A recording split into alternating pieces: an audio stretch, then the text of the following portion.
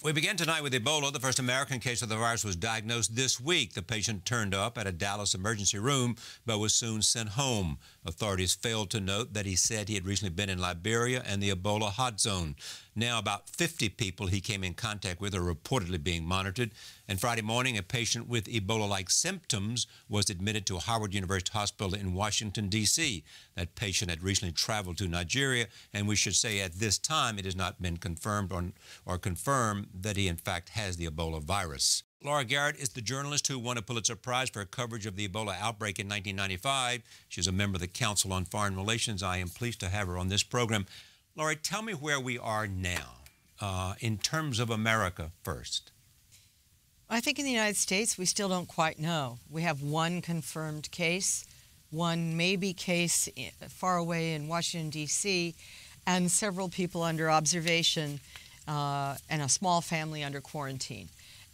I think it would be irresponsible in the extreme to jump beyond those basic facts at this time. And I think uh, people are having a hard time wrapping their minds around the fact that this is a globalized world. You really can't keep track of where everybody's been, where everybody's going. We're going to have to come up with much smarter strategies to guarantee safety to the American people. But they do seem concerned about anybody that came in contact with somebody who has a confirmed case of the Ebola virus.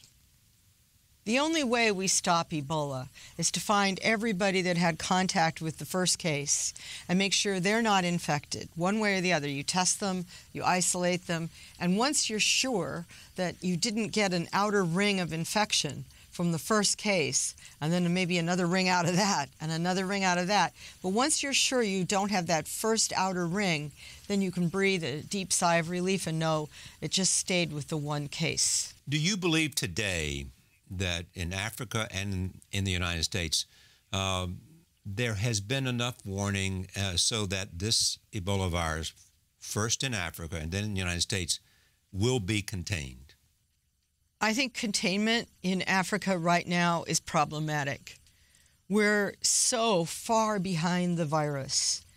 You know, I liken it to there's a marathon, and where the response to the epidemic is somewhere around the two, three mile point, you know, putting up a good pace. But the virus is up at the 18 mile point and it keeps getting faster.